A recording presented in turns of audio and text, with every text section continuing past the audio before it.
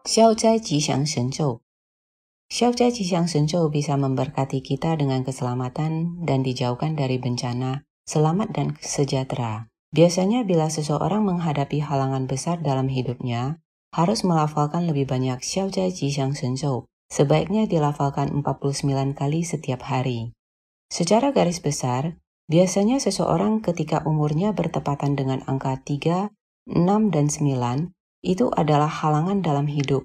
Contohnya, 19 tahun, 29, 33, 39, 49, 59, 66, 73, 84, 89, dan lainnya. Semua halangan ini adalah halangan berdasarkan umur yang sesungguhnya.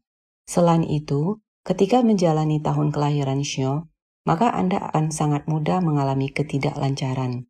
Tentu saja ini kembali lagi pada masing-masing orang, tidak bisa disamakan.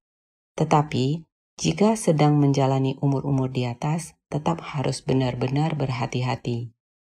Jika dalam kehidupan nyata menghadapi banyak permasalahan seperti ingin menghindari perkara hukum, kehilangan uang dan ingin mendapatnya kembali, pertengkaran, denda, sakit mendadak dan lainnya, bisa melafalkan parita Xiao Zai Jixiang Shenzhou.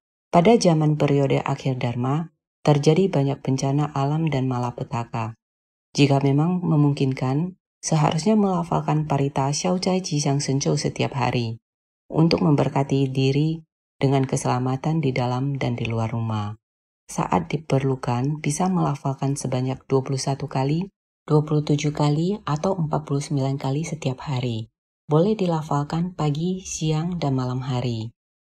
Untuk informasi lebih lengkap, silakan membaca buku Fo Xue Chang Si Kai Si Ji Jing, jilid 1, tanya jawab seputar Dharma nomor 139, serta mengikuti wejangan master yang terbaru sebagai referensi.